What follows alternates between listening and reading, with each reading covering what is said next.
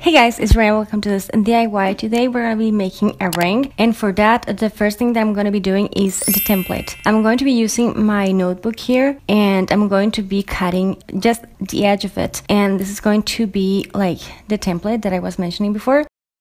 I'm just going to measure it to my fingers. A lot of my fingers are pretty much the same size so I just am going to be measuring that. So I'm just going to measure it to the size of my fingers I'm just going to cut the excess and yeah this is going to be the size of the ring that I need. To make the ring I'm going to be using some polymer clay. This is a brand that I'm using and I'm using translucent. I'm going to be painting this anyways so yeah I just prefer to use this. I'm just going to be using this much. I'm just going to be rolling it with my roller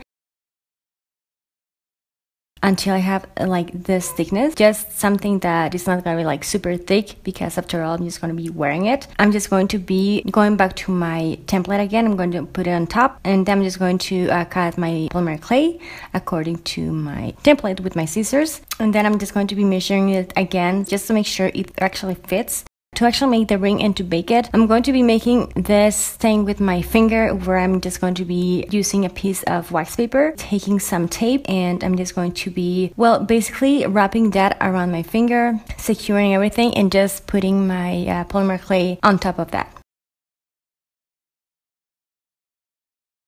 Then I'm just going to bake it with my piece of wax paper still in there and I'm just going to be following my polymer clay's instructions to bake it. Then I don't know what happened, I just left some footage. Sorry about that, I couldn't find them anywhere. Hopefully it still makes sense. But what I did next is I removed the wax paper once it was baked and cooled a bit and then I just painted it with my gold acrylic paint, giving the whole thing few coats. And yeah, this is pretty much the idea that I wanted to share. I love these kinds of rings. I think they're super edgy and they add something really unique and real cool to your outfit. Yeah, give it a try, give it a go. Hopefully you liked it as much as I did. If you did, don't forget to give me a thumbs up, helps a lot. Don't forget to subscribe to my channel for more stuff and don't forget to share this one. So yeah, thank you so much for watching. I'll talk to you on Wednesday and take care. Bye guys!